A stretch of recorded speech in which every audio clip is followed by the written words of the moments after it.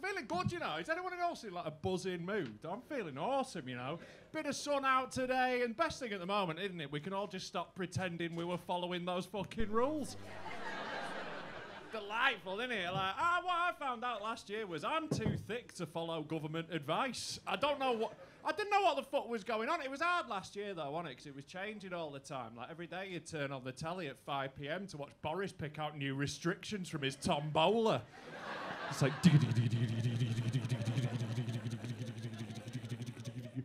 33, that is Jim's in Leicester. Sorry, guys. it's fucking madness, wasn't it? Like, the last year has definitely proved when the shit hits the fan, the people in charge do not have a fucking Scooby.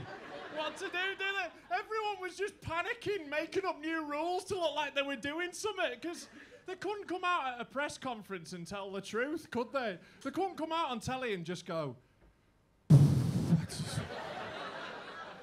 Good luck. Uh, I love it though. In the north, let's be real, our pandemic ended about eight fucking months ago, didn't it? We all just stopped giving a shit.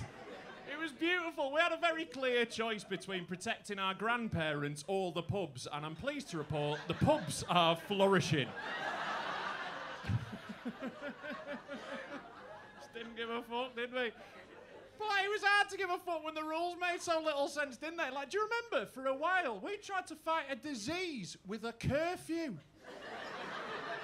the fuck were we thinking?